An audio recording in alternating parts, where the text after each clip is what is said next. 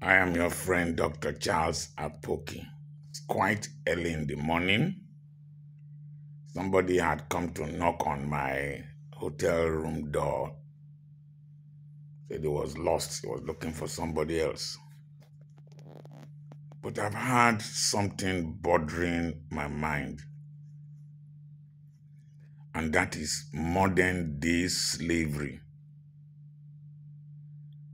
The shackles are no longer in our legs or in our hands or in our necks. The shackles are in our minds. Bible says, jealously guard your heart. Out of it spring the issues of life. The great slavery in religion, all types of religions Christianity, Islam, African traditional religion. The other form of slavery is in politics. People hardly reason nowadays. People hardly reason independently. When I hear arguments on social media when you are directing people to the reality of their enslavement, you'll be surprised at what they vomit out of their mouths. Simple way to enslave you. Number one, sermons. Because most people, particularly in Africa, don't read don't research and don't reason independently, they are echoes of the stupidity of their slave masters. Sermons. Just preach anything to an African, add the name of Jesus, add the name of Muhammad, peace be unto his name, add the name of one thing, they will believe sermons. Imagine, let me just give you, like in Christianity, they will say that uh, if you shout the loudest amen, you get the loudest, the biggest miracle. That's deception. You just want cacophony, you just want noise. How do deaf and dumb people get healed in crusades? If it is by shouting the loudest amen, then you get the loudest miracle when they tell you that uh, prayer is the key, prayer is the master key. Jesus started with prayer and ended with prayer. That's a lie. Jesus did not start with prayer. He started with responsibility. Don't you know I should be about my father's business? And then it ended with accomplishment. It is finished. Any Christianity that takes you away from responsibility to God, to humanity, to your environment, only responsibility to a denomination and a man is slavery. The next thing is fantastic stories. In fact, the kind of stories, unverifiable stories that are being peddled today by preachers just to attract men to themselves is very, very, very, very annoying. Annoying. I know the miraculous can happen. I've seen so many miracles, including myself. I am AS, my wife is AS. My blood was tested in the University College Hospital, Ibadan. My wife was tested in the University of Benin Teaching Hospital. But we don't have sickness. I have four children with my wife. Three are AS, one is AA. But it is not enough to form a doctrine or collect money or sell mantle or sell whatever to people because of that divine act that God did. And I've seen so many miracles that happened through my ministry.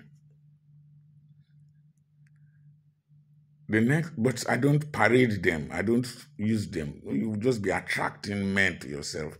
The Bible says, if Jesus be lifted up from the earth, I will draw all men unto me. Let's lift Jesus up. In those days, Boyeya, ah, Elu. That's it. Lift up Jesus. This one is lift up Dr. Apoki. Lift up his achievements. So they tell fantastic stories how they crossed borders, how they disappeared and appeared, how all kinds of stories just to enslave your mind. Number three, overemphasis on the supernatural. Overemphasis on the supernatural. That Jesus multiplied bread did not prevent people from opening bakeries and going to fish. So, so we keep promising the people the supernatural. We collect their monies in the name of supernatural provision. We waste their time in church in the name of supernatural elevation. Uh, 100 day fast. What, what's wrong with you? 50 days all night. I just saw one now. Special prayers for the ember months. What is different between ember months? What are you people? Are you people something wrong with you? The challenges we have in the months that start from September to December are usually as a result of the following. Number one, in September, there are rains. So in Nigeria, so you might have flood, you might have disaster, you might have bad roads, you might have poor visibility, poor visibility while you are driving, and anything associated with water and that rainy season. There are some disease conditions that will come, like cholera, that are associated with our, our open defecation system by the time it is entering October, people are becoming desperate for December. I don't see anything you what you, you run after in Christmas and the New Year celebrations. And because of the desperation, accident rates are high. And then you enter November. Um, when you enter November, the weather is dry. So, and there is cold. So people tend to warm themselves and all that. And fire disasters become more often. And then with the Harmattan haze, you don't see well while you are driving. The next thing is that meningitis will be common in the north and several parts of the country. Then the Christmas rush between this in December and the New Year rush it increases the rate of accident. People will put cars that have not driven for a long time, they will put them on the road and then they break down. Robbers want to steal to enjoy Christmas and the New Year celebration. Pregnant women who are tailors will sew, sew, sew, sew. They will have miscarriages. I, I practice medicine. This is 40 years I've been a doctor. I know what is associated with all these seasons when the planting season will start, like when I was in Igbo land, there will be land disputes. People will be macheted. They will get injured. They will bring them to, to my hospital. So there is nothing exceptional with ember months. Uh, a lot of pastors would would have stroke, collapse, cardiac arrest because they are fasting and fasting and fasting and not resting and they are not well nourished. So you see pastors dying, people with ulcers. I've done a statistical analysis of these things happening in the months of December. I mean September to December. There's nothing about ember months. Nothing. Nothing special. Then you come and keep the people praying, praying, praying. You are just looking for money because the more attendance during uh, the prayer meetings out, out of fear. Fear. You get more offering. That is the secret. There's nothing in Ember Month. You want to create relevance. Then the next thing is success stories. Nigerians, because of the poverty, people don't care how you succeed. Success stories, people just, uh, I have this, I have that, I have that, I have that. So people, people will just be amazed at the success stories of whoever they are following in their religion, uh, in politics, success stories. They just be running after the people them. No, I discovered it in my personal life. People want to tap into your grace because they see structure, they see success. Then the next thing is structures. When you physical structures, you build the biggest auditorium, you build this, you put exquisite seats, you put air conditioning. All these people that have no electricity at home, excuse me, live in dirty homes. They want to come to such environment. They are amazed. They are amazed when I tell somebody that I'm building a tertiary institution in 40 something acres. First thing is, is that he's fascinated. He's amazed. He wants to tap into the grace. I make bold to say there are very few pastors in my locality that have more real estate than I have. But it's not a basis, it's not a measure of my spirituality. Neither should it be a reason for me to manipulate you. Church people are easily intimidated by these uh, stories, spirituality, structures, successes, you know. Then the, the next thing is caring. You scare the people. Any person worrying you at home, any person, no witch can come and press me here. This the temperature is so cold. They don't know where I am. The environment is so neat. Demons like desolate places. They don't know where I am. My wife doesn't know where I am. Sometimes I even wake up at night. I don't remember where I am. And witch has never pressed me. That word pressing is sleep paralysis. It's a physiological state. Go and Google sleep paralysis. All these incubus and succubus, they are mental um, um, perceptions. Go and Google sleep paralysis. So our people are being enslaved. They can't reason. In politics, APC, PDP, Labour Party, any party, you will see people because only 5% of humanity reason. And in a country like Nigeria, where we are very cultural and we just follow elders, we just follow leaders, people don't reason at all. The economy is going down. If you just say anything, APC apologists will just attack you. Uh, Wike and Fubara, they are quarreling in uh, River State and they are making the state ungovernable, unprogressive. If you just say anything, Wike's supporters will attack you. If you say anything about Fubara, Fubara's attack, um, people will attack you. That is the way our stupidity, and most of these people who have been enslaved is because of peanuts. They call it empowerment. They don't know it is enslavement. They buy one uh, useless second-hand Camry for you. They give you special assistant that you earn two fifty thousand a month, something that a vulcanizer in a very busy junction can earn.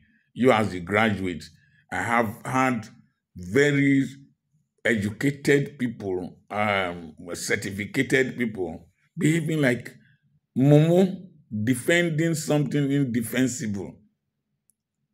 I know one young man during Buhari's time defended Buhari, defended Buhari because he was working under somebody who enabled him to just get some peanuts. Peanuts. Peanuts. Go and look at him. He's still where he is. He has not progressed. So because of the unemployment, because of the weaponized poverty, because of uh, illiteracy, because of fear of thinking independently, people are enslaved politically. just enslaved. Particularly these jobless women, most of these women who are divorcees, widows, they just see the the little provision of wrapper, t-shirt, cap, 20,000, 30,000 as a reason to follow any person. Recently, I've been seeing Dangote's advert of distribution of rice.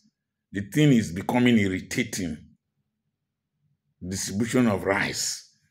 You see uh, Ladura pastor, you will see Anglican priest, you will see Catholic bishop, you will see people all over the place, Dangote rice. In, in a decent society, what is Dangote rice? How much has Dangote extracted from this country? You will say, I have not given. Yes, but I've also not taken like Dangote. I've not taken. I've not had the privileges of uh, monopoly and all that that he has enjoyed. Don't, don't, don't enslave this country bag, 10 kilogram bag of rice. I have not been. If I anytime I tune television, Dangote rice, Dangote. What rubbish is this? if we have food in this country, we plant rice in this country, we we have variety of food stuff. Why would you be living a life of palliative? This is a, a country of palliative. Anytime we have problem, rice. Anytime there is a difficulty, palliative. How can we continue like this? People don't think independently, they don't reason independently, so we are enslaved what irritates me and what annoys me is that when you say the truth to them and you want to set them free, you become their enemies because of Stockholm syndrome. Stockholm syndrome, where somebody is kidnapped, molested, and then the, the person kidnapped falls in love with the kidnapper. Another thing that enslaves people is societies. You join clubs, you join cults, you join confraternities, you join this, you join that, and you. I don't belong to any club. No, no, no, no. I don't belong to any association. I reason independently. You can't confine me. I must wear this. I must tie this thing. I must wear one cap. I must dance and shake my. No nonsense. Nonsense. I'm not afraid of being alone.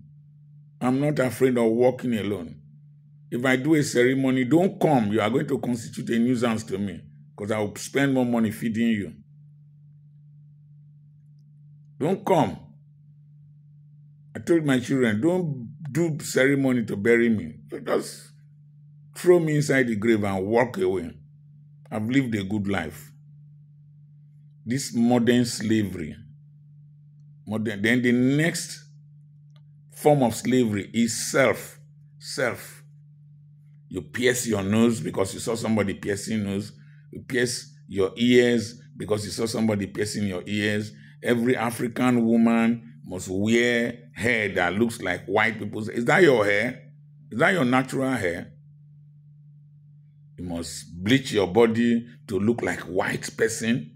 Look at go and look at Ngozi Okonjo-Iweala. I'm always using her as an example.